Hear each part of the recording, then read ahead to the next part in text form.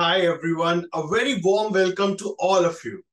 Today, you are here in the best of the GRE series by IMS. Myself, Anas, and I'm the quant mentor here.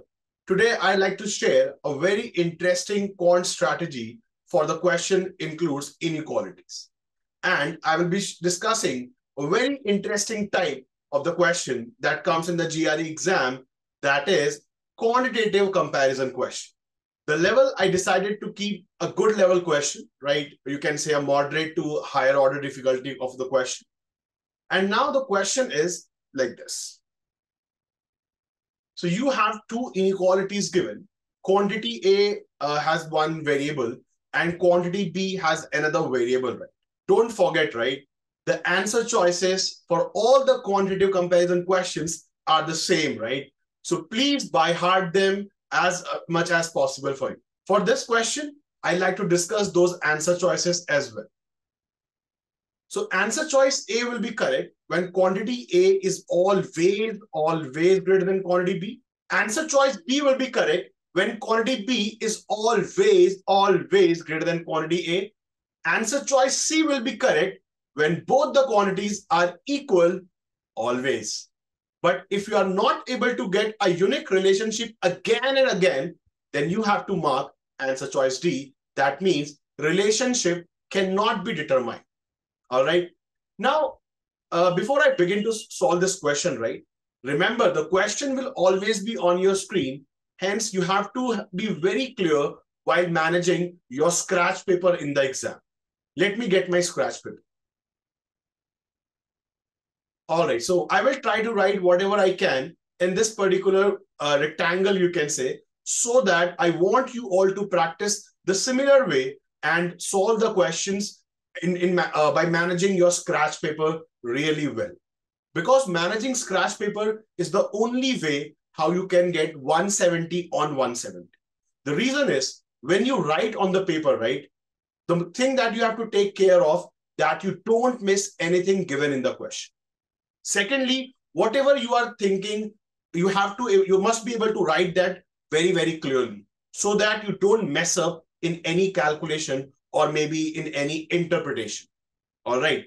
So as the question is already on my screen, so please consider that is already written on my scratch paper. The first step is always jot down the given inequalities on your scratch paper, write the quantity A, write the quantity B, and then start solving it. All right. So let's begin and learn the strategy for this particular question. Meanwhile, if you all wish, you can pause the video, you can solve the question, and then you can join me back. I hope you have done that. Let's discuss this question. So Q is greater than S and PQ square minus Q is greater than Q square R minus S. Quantity A is P, quantity B is R. So my focus should be on how can I get some inequality or some way to compare the variable P and the variable R. All right. There is one very interesting hack of inequalities is that you can add the inequalities. All right. Let's try to add the inequalities and see what relation we will be getting. We will. So Q greater than S and then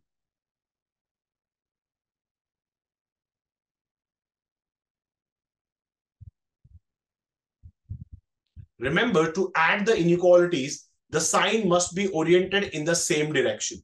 So we have greater in the first inequality, then you must have the same sign in the second inequality. Now let's add them up. So when I add, q minus q will be gone. I will be having pq square. And here s minus s will be gone. And I will be having q square r. And the same inequality sign I have to copy down. Now tell me guys, I have q square both the sides of the inequality. Can I divide both the sides by q square? And if I do so, what sign should I have to keep, right? Can I keep the same sign or do I have to invert? Let me answer that. Remember, in an inequality, if you multiply or divide by a positive number, then you are allowed to keep the sign same. But if you are multiplying or dividing the inequality with a negative number, then you have to invert the sign. Let me give you an example. 5 is greater than 3. So if I multiply 2 both the sides, so I can keep the sign same because I multiplied with a positive constant. All right. What happens if I multiply both the sides by a negative number? Let's see that out. Let me multiply now minus 3 both the sides.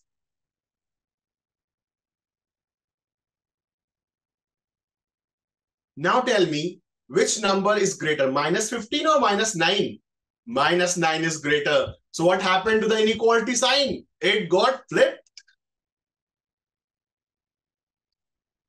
Hence, you have to remember this hack. Whenever you multiply or divide by a positive number in the inequality, sign will remain the same. But when you divide or multiply by a negative number, then the sign will invert. Now tell me guys, coming back to the question, what is q square? Is q square positive or negative? Remember, you are squaring a number. What, can, what you can get when you square a number? Let's discuss that.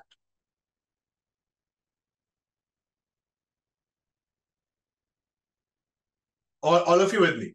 So q square, if you observe, when we are squaring a number, we can say that q square can only be positive.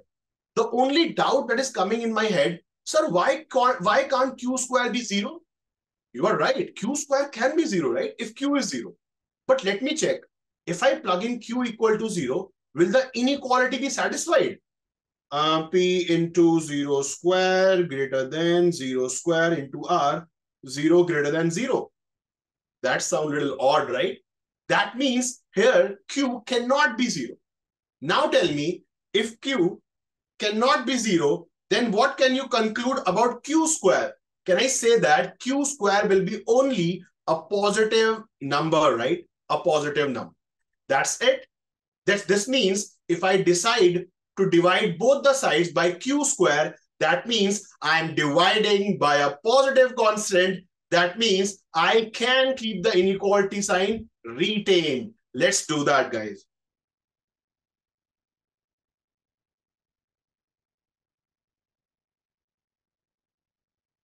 So dividing both the side by q square, q square, q square cancel. Hence we have p greater than r. Now in the inequal, in the quantity A, you have p.